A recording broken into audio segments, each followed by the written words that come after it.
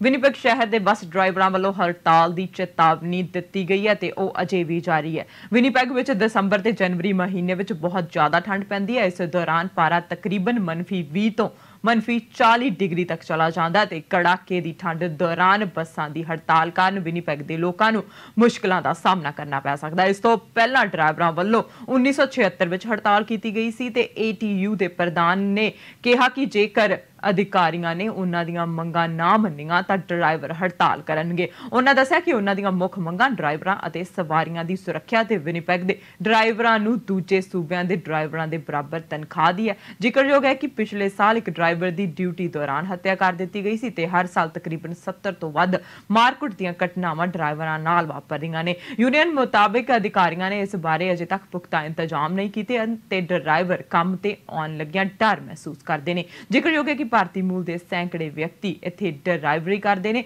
ਉਧਰ ਵਿਨੀਪੈਗ ਦੇ ਮੇਅਰ ਇਸ ਨੂੰ ਮਹਿਜ ਚੇਤਾਵਨੀ ਦੱਸ ਰਹੇ ਨੇ। ਉਹਨਾਂ ਕਿਹਾ ਕਿ ਯੂਨੀਅਨ ਆਉਣ ਵਾਲੇ ਨਵੇਂ ਐਗਰੀਮੈਂਟ ਵਾਸਤੇ ਮੀਡੀਆ ਦੁਆਰਾ ਦਬਾਅ ਬਣਾਉਣਾ ਚਾਹੁੰਦੀ ਹੈ।